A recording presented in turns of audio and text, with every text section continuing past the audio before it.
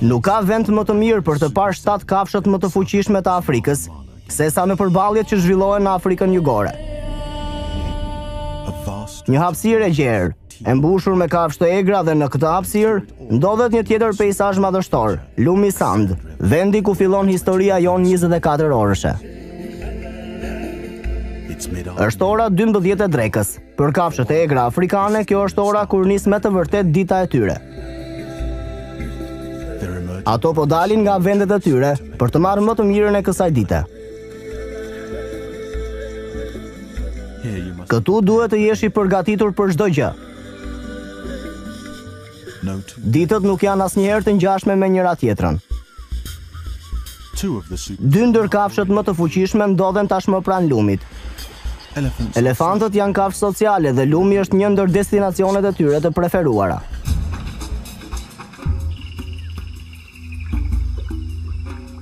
Ndërsa kjo mace arrin të surprizojë gjithmonë. Luani është kafsha më e rrezikshme në këtë vend. Habitati pranë lumit është i mbushur me shkurre, një vend ideal për grabitqarin më të zgjuar të këtij vendi, leopardin. Ai është një mjeshtër për të qëndruar në majë të pemës, por shumë shpejt do të zbresë poshtë për të kërkuar ushqimin e tij. Edhe buallit afrikan i pëlqen shumë hapësira e shkurreve.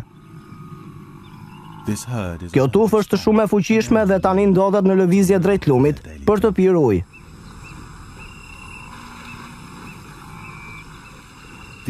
Këto kafshë janë të shumta në numër.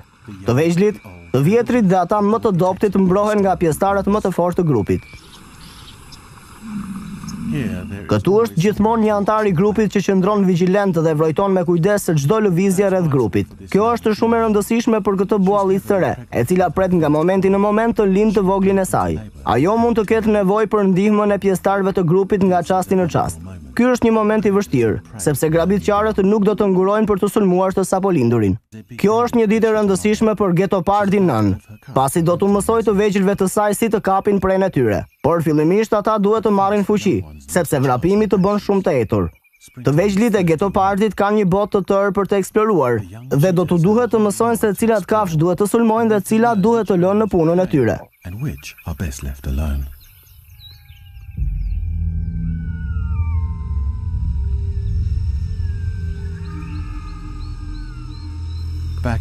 Pranë lumit, rinoceronti dhe shokët e tij kanë hasur diçka shqetësuese, por për shkak të shikimit të tyre të dobët, nuk mund ta dallojnë se çfarë është. Por ata mund ta kuptojnë se për çfarë bëhet fjalë, falë nuhatjes së tyre të shkëlqyer. Nuk ka dyshim, është aroma e një bualli, i cili ka 7 ditë që është vrarë. Ky zbulim i shqetësoi tej mase buajt. Zakonisht kafshët grabitqare nuk i sulmojnë buajt, për shkak të masës së tyre, por me sa duket këto kafshë duhet të jenë mjaft të fuqishme dhe ndoshta ndodhen ende këtej rrotull. Fatkeqësisht, buajt po nisen në drejtim të elefantëve, ku gjendja është mjaft e qetë. Elefantët janë kafshët më të mëdha ndër shtatë kafshët më të rrezikshme të Afrikës.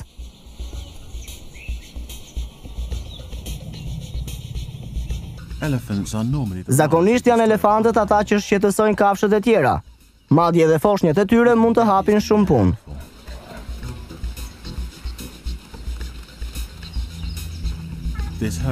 Kjo tufë ka vetëm një problem për momentin. Një elefant i ri, i cili është mjaftueshëm i rritur për t'u kujdesur për veten dhe femrat e rritura nuk e duan më pranë vetes.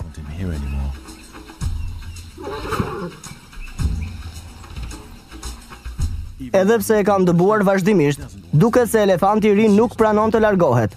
Ai vazhdon të qëndrojë pranë kopesë, por duke ruajtur distancën që i është kërkuar.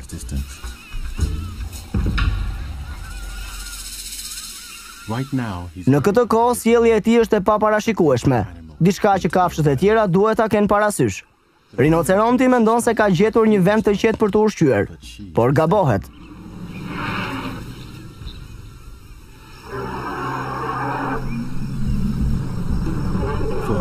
Për rinocerontin dihet që ka një shikim të dobët dhe nuk mund ta dallojë nëse elefanti është i inatosur apo po luan.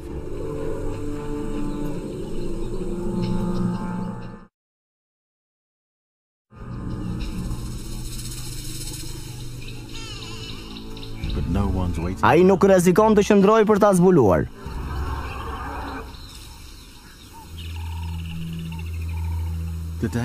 Dita sapo ka nisur për luanët, ata nuk kanë asnjë problem e asnjë shqetësim, janë të bindur se ata janë të zotërit e kësaj toke.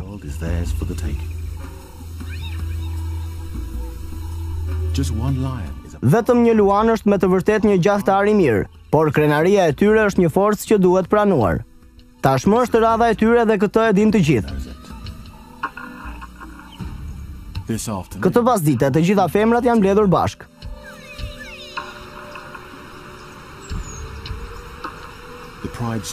Dy meshkuj po kontrollojnë zonën. Ndërsa njëri prej tyre hedh një sy rreth e rrotull zonës. Vëllai i tij bën të qartë se kush komandon në këtë zonë.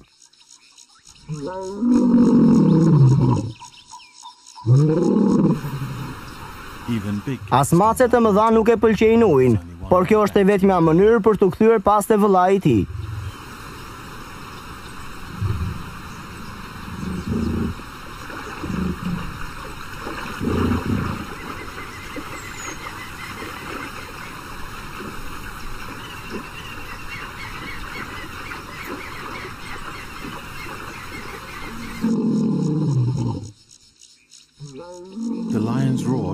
Hungërima e luanit është një mënyrë e thjeshtë dhe efektive për të bërë të qartë praninë e tij. Ai mund të dëgjohet tetë kilometra larg vendit ku ndodhet. Hungërima e luanit nuk dëgjohet vetëm nga leopardi, por nga të gjitha kafshët që mund të shëndërrohen në prenë e tij.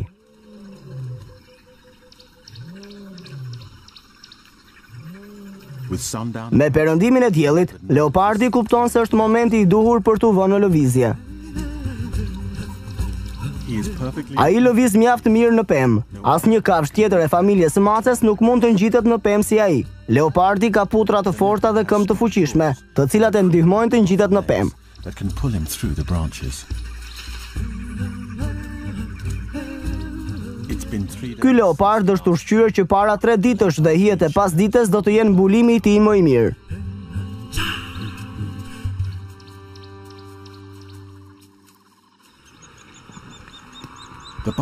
Buajtë nuk mund të qëndrojnë në ujë dhe për shumë kohë, pasi nuk duan që t'i zërë nata në këtë vend.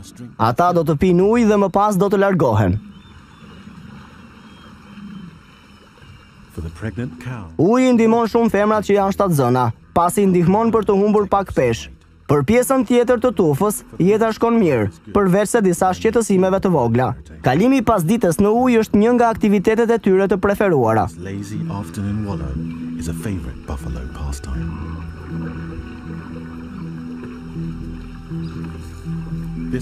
Kjo kohë në ujë do të ishte si një parajsë, nëse nuk do të ekzistonin fqinjët e padëshiruar. Leopardi është nisur drejt tyre, ndërsa në anën tjetër po afrohet edhe një luan. Kjo nuk është një shenjë e mirë. Buajt me një të nuhatur e ndjejnë rrezikun që i kanoset.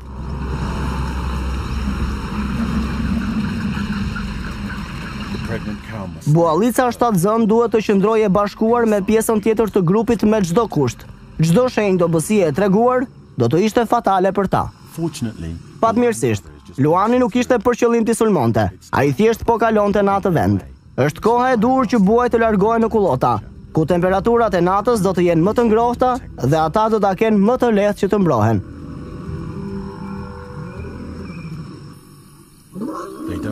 Ata nuk kanë nevojë të dëgjojnë hungërimin e luanit për t'u kujtuar se duhet të largohen nga vendi ku ndodhen. Dy vëllezërit nuk janë në gjendjen e tyre më të mirë, por janë gjithnjë të gatshëm për të treguar fuqinë e tyre. Ata preferojnë t'i lënë femrat të shijojnë ditën dhe shfaqen vetëm në kohën e darkës. Në pyll luaneshat kanë një zgjim të çuditshëm. Me sa duket elefanti dëshiron të shkojë në drejtim të tyre. Ai nuk ka shfaqur ende shenja irritimi. Por ndodhet shumë pranë tyre, i fshehur pas shkurreve. Luaneshat ndoshta nuk e dinë se tashmë është shumë vonë nëse ai do t'i sulmojë.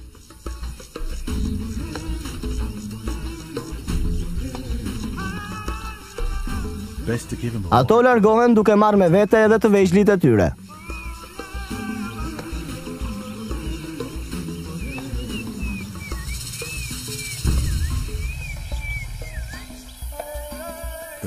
Luaneshat nuk janë të kënaqura me faktin se iu desh të largoheshin nga vendi ku ndodheshin, por kot nuk thonë, pas shiut del dielli.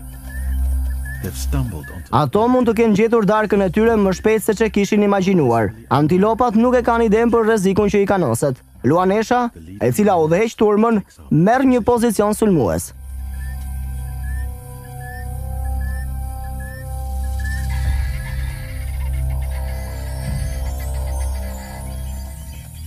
Të tjerat ndjekin shembullin e saj.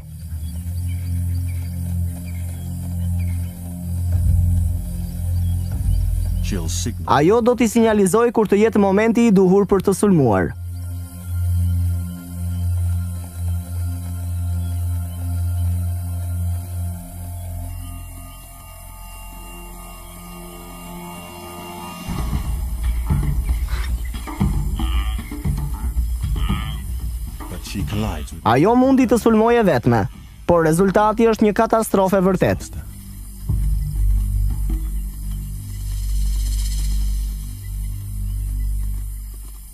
Antilopa ishte me fat që mundi t'i shpëtonte këtij sulmi. Luaneshat u poshtëruan për të dytën herë sot dhe kjo do t'i motivojë ato edhe më shumë, për të zënë doemos një pre në ditën e sotme.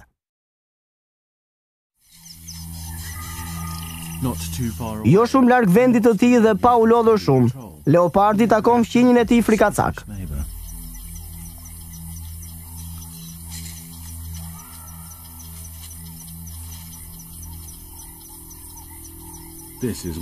Kjo është një skenë që ia vlen për t'u parë. Rinoceronti është një kafshë tepër e madhe për ta sulmuar dhe leopardi mund të dalë me më shumë humbje nga kjo përballje. Leopardi po e vështron vazhdimisht. Përballja e këtyre dy kafshëve në shkurret afrikane kërkon manovra delikate. Pavarësisht përqendrimit të leopardit, rinoceronti diçka tjetër arrin t'ia tërheqë vëmendjen. Një kope gazelesh.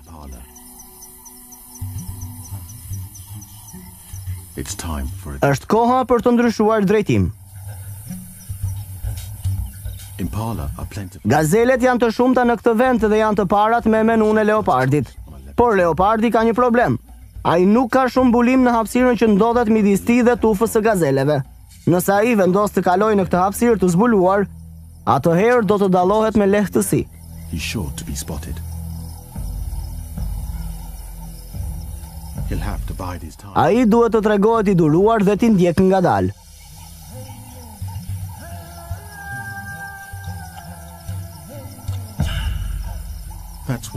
Kjo është një karakteristik e leopardit. Ai e ndjek prenë e tij dhe pret momentin e duhur për ta sulmuar.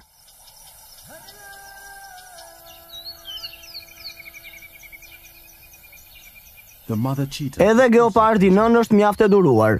Ajo e di që herët apo vonë do t'i jepet mundësia për të sulmuar. Thjesht duhet të tregohet vigjilente. Kjo është një veçori që duhet ta mësojnë edhe të vegjëlit e saj. Nëse do të duan një vakt, atëherë atyre do t'u duhet të punojnë për ta siguruar atë. Për momentin, janë të lumtur që është nëna ajo që duhet t'ua sigurojë ushqimin.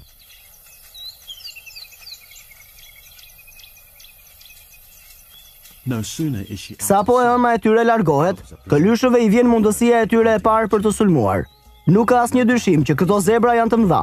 madje të vështira për t'u sulmuar edhe nga një gatopard i rritur, pavarësisht kësaj, të vegjëlit provojnë shansin e tyre.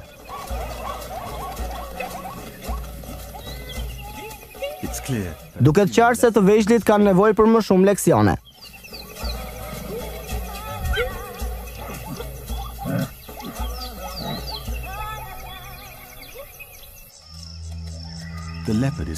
Leopardi është në ndjekje të gazelave dhe nuk ka rënë fare në sy se u është qepur pas.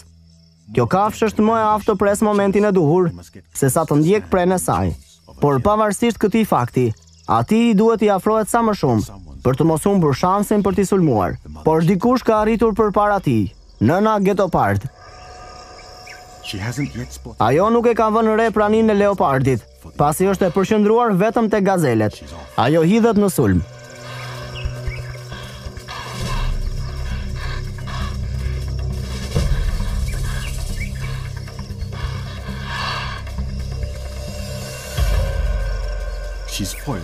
Pengohet nga drunjtë e shumtë që i dalin përpara. The leopard's meal is even further away.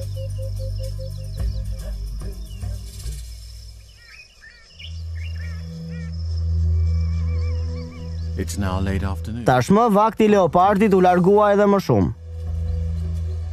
There's a good reason. Është pasdite vonë. Ora shënon 5. Ka një shpjegim përse luaneshat dështuan të zinin prenë e tyre. Kjo ndodhi pasi ato nuk punuan në grup. Ishin të papërgatitura. Përpara se ata të nisen për të gjetur ushqimin e darkës, bëjnë diçka të rëndësishme për të forcuar fuqinë e tyre. Përmirësojnë marrëdhëniet e tyre shoqërore. Në këtë mënyrë, këto gjashtë kafshë shndërrohen në një makinë vrasëse të pamëshirshme.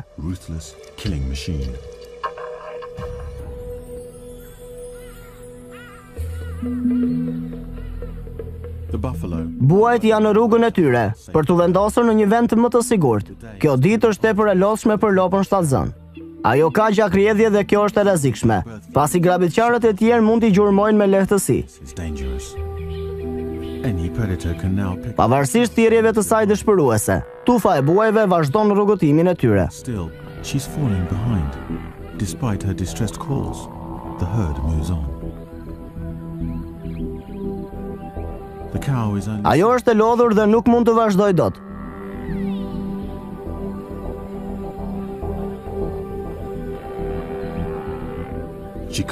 Ajo nuk mund të lindë në këtë vend të pasigurt. Duhet të vazhdojë të ndjekë pjesën tjetër të grupit. Kjo do të jetë një garë me kohën.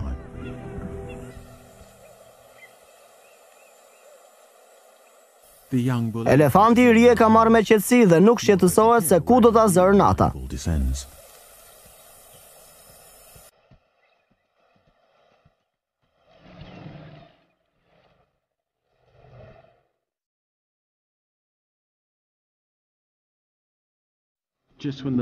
Pikërisht kur luanët mendojnë se shpëtuan nga elefanti, ai kthehet sërish dhe shëtit në zonën ku luanët po pushojnë.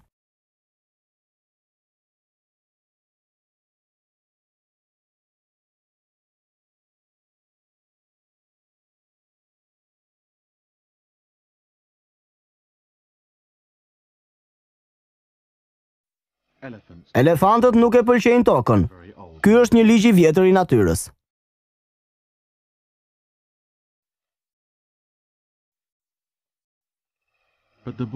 Por i riu është më interesuar për rërën se sa për krenarinë e tij, të paktën për momentin.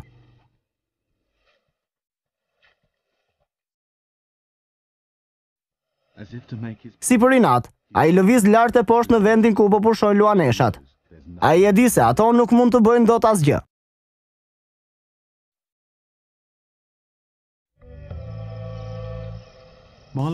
Gatopardët preferojnë terrenin e lartë të këtij vendi. Kjo hapësirë e blertë është vendi perfekt për kafshën më të shpejtë të botës.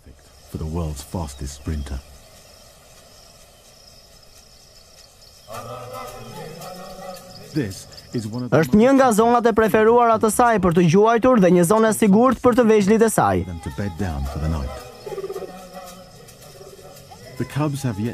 Ata duhet të zënë prenë e tyre të parë dhe të praktikohen tek njëri-tjetri.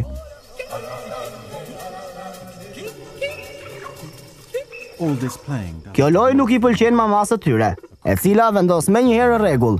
Edhe pse për pak çaste.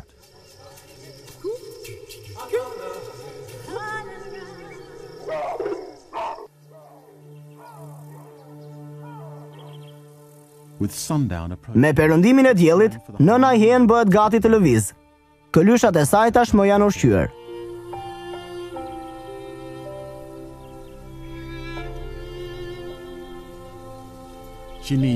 Ajo duhet ta zëvendësojë ushqimin e humbur me një vakt të mirë.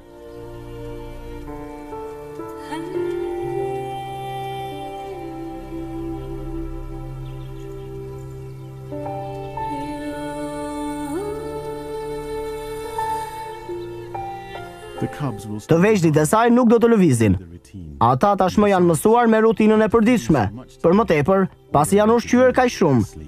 E vetmja gjë për të cilën kanë nevojë tani është të flenë. Tufa e buajve arriti në vendin e sigurt. Të gjithë, përveç buallicës shtatzënë. Ajo ka mbetur prapa dhe i duhet të përdorë të gjithë energjitë e saj për t'iu bashkuar grupit.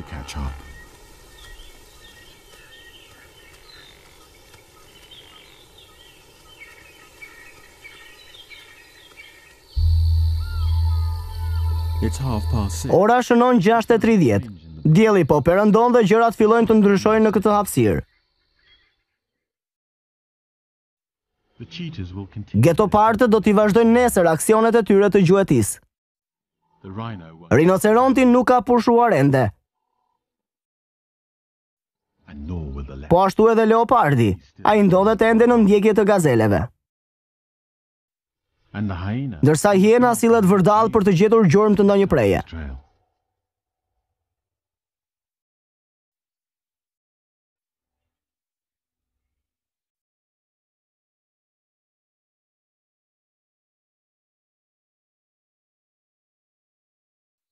Luaneshat janë gati për nisje. Një gllënjkë e fundit uji dhe ato nisen errësirën e natës, në kërkim të presë së tyre.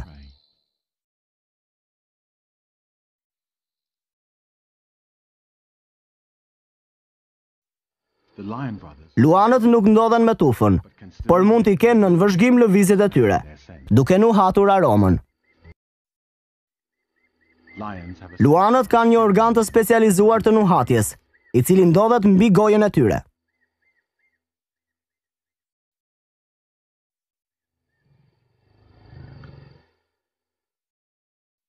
Njëri nga vëllezërit ka vendosur që ta ndjekë pas tufën. Ai është i uritur, por pavarësisht këtij fakti, ai ua lë luaneshave punën e pisët dhe paraqitet vetëm në kohën e darkës. Luaneshave nuk i duhet të kërkojnë shumë larg. Ato e ndjejnë aromën e buallicës shtatzënë. Tashmë kjo kafshë ka shumë pak kohë për t'iu bashkuar tufës.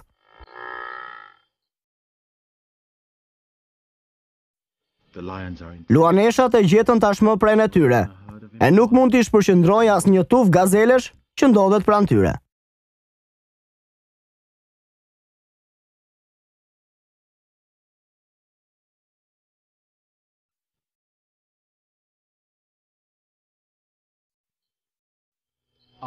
E lodhur, por e vendosur në qëllimin e saj, buallica arrin në vendin e sigurt të miqve.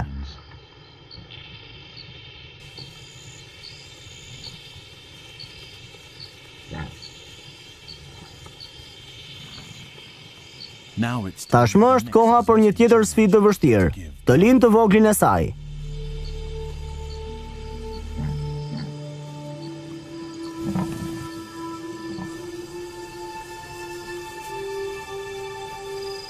Buajt janë të mëdhenj dhe kanë një temperament të keq. Luaneshave do t'i duhet të kalojnë përmes tyre për të arritur buallicën shtatzënë, e cila ndodhet pak pas tyre. Kjo është situata kur buallica është më e dobët se asnjëherë tjetër, i vogli i saj është duke lindur. Fatmirësisht, buajt bëjnë një lindje të shpejtë.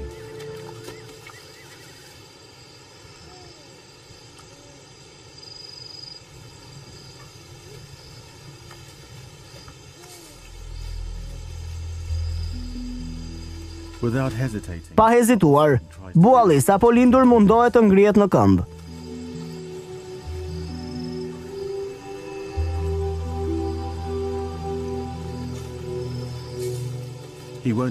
Ai nuk mund të ecë edhe për disa orë.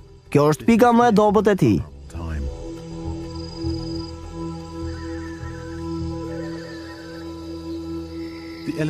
Elefantët nuk ndodhen larg. Mundësia që ata të takohen me luaneshat është shumë e madhe. Tufa drejtohet tek shkurret për t'u ushqyer. Elefantët ushqehen për 16 orë në ditë për të furnizuar trupin e tyre gjigant.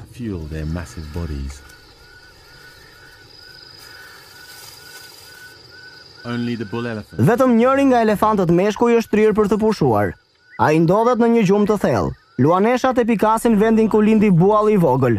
Tashmë ai është preja e tyre.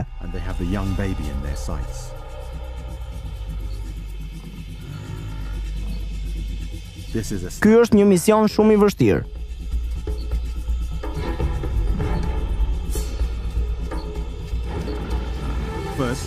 Fillimisht, ata alarmojnë dhe largojnë buajt e mëdhenj dhe më pas i afrohen të voglit. Nëna largohet e frikësuar. Duke e lënë të voglin pas e të pambrojtur.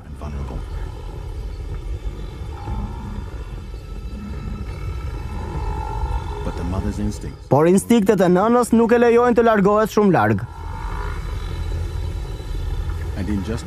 Brenda pak sekondash, ajo bën që e gjithë tufa e buajve të kthehet pas. Tashmë loja ndërron anë. Buajve u ka ardhur në majë të hundës nga luaneshat dhe tashmë ata kthehen në gjahtarë.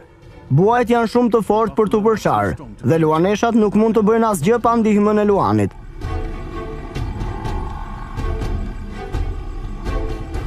Luaneshat e humbën mundësinë e tyre dhe bualli i vogël shpëtoi.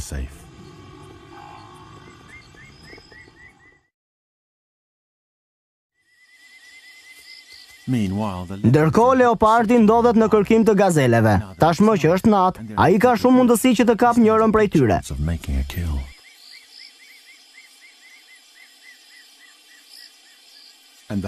Ndërsa hiena po ndjek gjurmët e leopardit. Tashmë ajo është mjaftueshëm e fortë për të vjedhur një pre prej tij.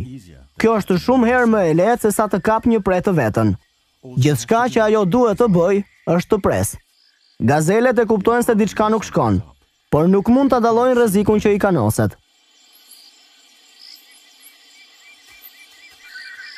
Në momentin që e kuptojnë, ato nuk mund të bëjnë asgjë, pasi është tepër vonë.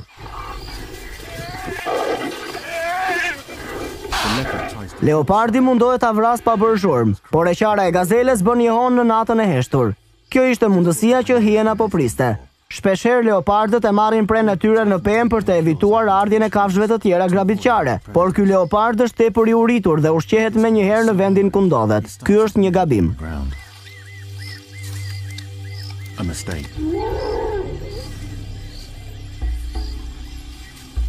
Ai jo vetëm që acaroi elefantin me zhurmën e krijuar, por i është vënë pas edhe hiena.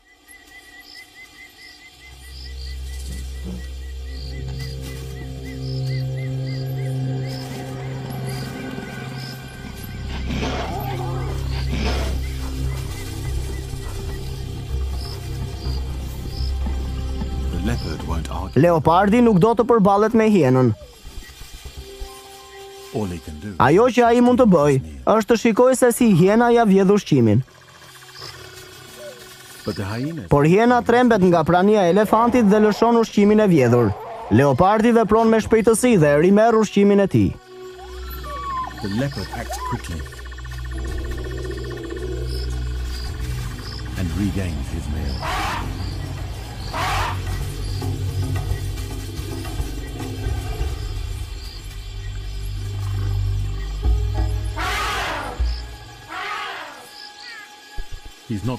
Ai nuk do ta keqpërdorë mundësinë që iu dha, duke e marrë ushqimin e tij me vete.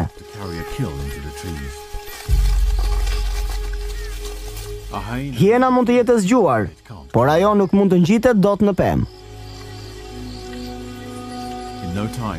Leopardi e përfundoi të gjithë ushqimin brenda një kohe të shkurtër dhe hienës nuk i mbetet gjë tjetër veçse të shpresojë për ndonjë mbeturinë. but hope for a few scraps on the table.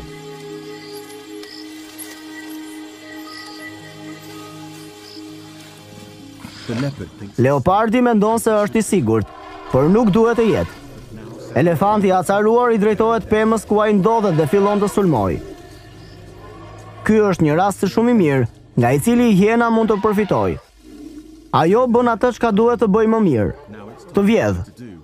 Ajo nuk merr një pjesë të madhe të ushqimit, por është më mirë se pa gjë.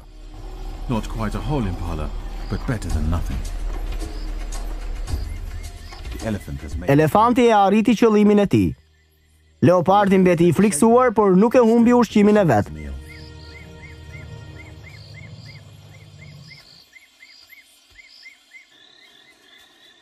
Luaneshat mund ta kenë humbur betejën me buajt, por tashmë janë vënë pas një tjetër objektivi, me të cilin mund të argëtohen. Antilopat. Kjo është ajo çka i bën luanët një ndër shtatë kafshët më të rrezikshme të Afrikës. Ato punojnë së bashku për të kapur një pre, e cila është shumë herë më e madhe se ata.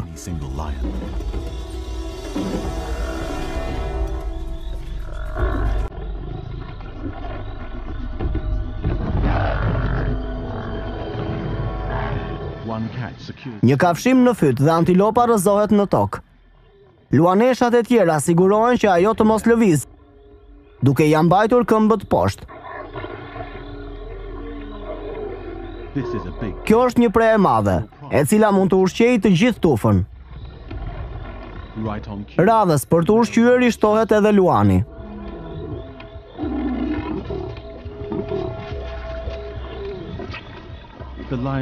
Luani nuk ka ndonjë pozitë të veçantë kur vjen puna tek ushqimi. Me antilopën e vrarë mund të ushqehen të gjithë individët.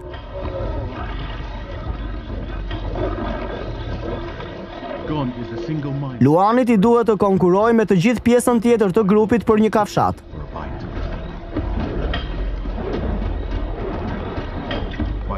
Në fund të darkës, E gjithë tufa do të jetë e ngopur.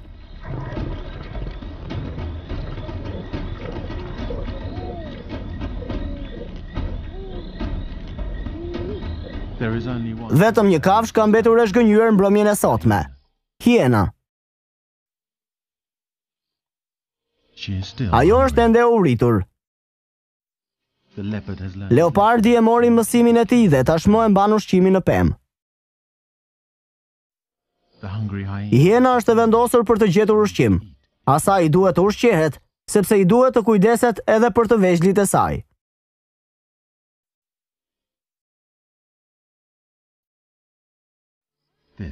Kjo do të jetë një natë e gjatë.